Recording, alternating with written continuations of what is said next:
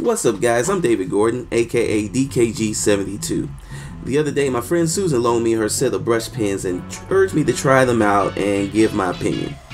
Well, I'm not turning down an opportunity for easy content that's right in my wheelhouse, buddy.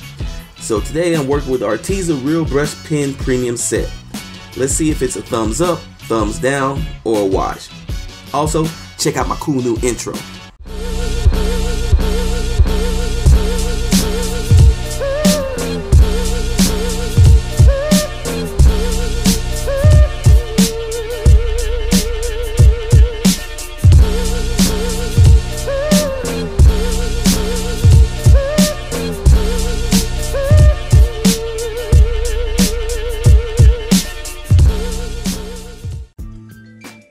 Alright, so before I tried out the Arteza Real Brush pens, I had to decide what kind of paper to use it on. I decided to go with Stonehenge Aqua Hot Press paper from the Sketchbox Challenge video last month, link up above. I figured if these are watercolor pens, then the smooth stretched surface would be perfect. Man, I was wrong. Right off the bat, the peach brush, which may have been used, came off as a bit dry and hit the paper super dark. I knew I was in trouble as soon as the pen hit the paper, but since I'm not a quitter, I pressed on. And that's when I realized that these may not be watercolor pens. And in fact, I think Arteza looks at these pens as a low-cost competitor uh, for the Copic sketch markers and the Shinhan Touch twin markers. I can tell you right now, it's not. But I pressed on because I ain't a quitter. The first layer ink was super streaky.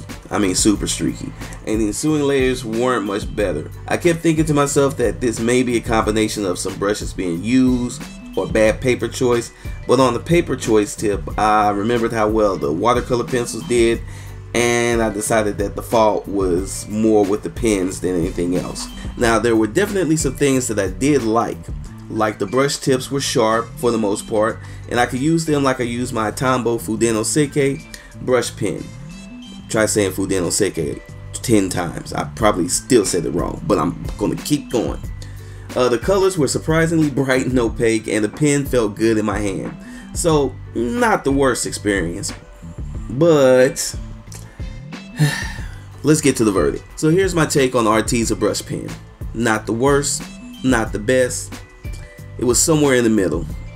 I like the feel and the brush tip. I definitely like the brightness of the colors, but too many of the pens were streaky and just not very good for covering large areas. Uh, something both Copic and Shinhan do really, really well. So would I buy them personally? Nah. But for a beginning artist, uh, they may be a good purchase to introduce them to new working tools. Alright, so there you have it guys, Arteza Real Brush Pen. It's a decidedly mediocre pen for pretty decent price. Links in the description below if you wish to try them out. Also, if you're new to the channel, please consider subscribing and hitting the bell so that YouTube likes to tell you when I upload a new video. It's normally every Monday. And uh, you've been here for a while, go ahead and hit that like button and uh, share this with your friends if you could. Also, guys, please subscribe to my Patreon. That helps support the channel. Alright, guys, I'm DKG72. I'll see you next Monday.